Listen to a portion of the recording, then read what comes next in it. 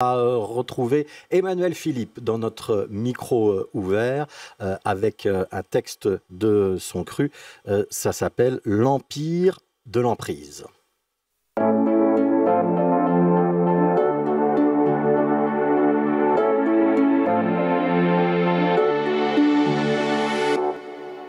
Bonjour à tous.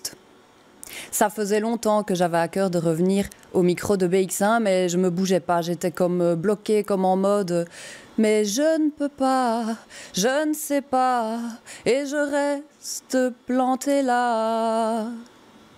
Avec le recul, je sais que je ne l'ai pas fait parce que j'avais emprise. Enfin, j'étais sous emprise. C'est de cela que je veux vous parler aujourd'hui et ça tombe bien parce que j'avais envie de vous parler d'un truc branché. Et l'emprise, c'est justement quand quelqu'un a branché sur nous une prise invisible grâce à laquelle elle s'alimente en énergie. C'est un phénomène électrique avec un plus et un moins, comme sur une pile. En termes de rapport humain, ça se transpose par un dominant et un dominé. Si quelqu'un parvient à brancher cette prise sur nous, c'est parce qu'il a trouvé deux trous.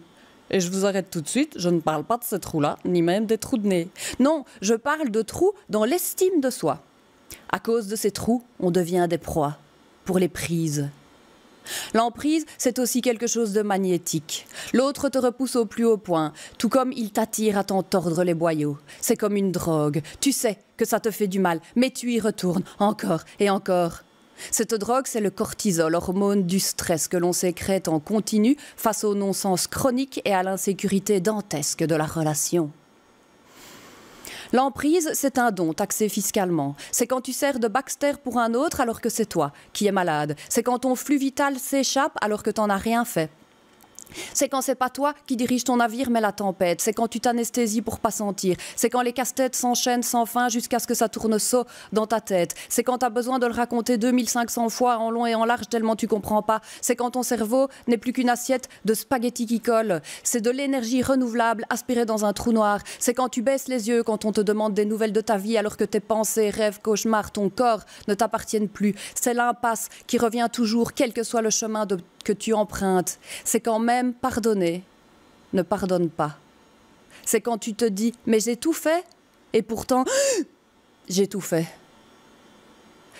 Pas très drôle, me direz-vous, mais si, réfléchissez, l'emprise c'est quand même euh, les relations de pouvoir qui priment sur l'amour et l'échange.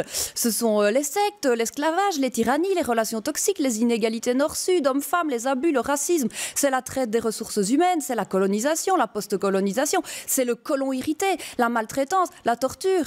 Les lois ne font plus les hommes, mais quelques hommes font la loi. C'est l'anti-amour, l'anti-potentialisation des capacités humaines. Vous voyez toujours pas ce qu'il y a de drôle? Ce qu'il y a de drôle, c'est que si on peut commencer à prétendre faire des blagues sur ce sujet, ça veut dire qu'on commence à pouvoir le mettre à distance. Ça veut dire que ce truc qui était invisible, acquis, intégré, on commence à l'extraire, le lire, le décoder. Ce qu'il y a de réjouissant, c'est que quand on aura fini avec ça, ça y est, on pourra enfin vivre et respirer plein poumon sur la belle verte. Bisous L'Empire de l'emprise, texte donc d'Emmanuel Philippe. Emmanuel Philippe, vous pouvez la retrouver euh, sur Facebook. C'est corps texte en deux mots qu'il faut chercher pour trouver sa page. Merci d'avoir été euh, une nouvelle fois au rendez-vous de Connaissez-vous et à très bientôt.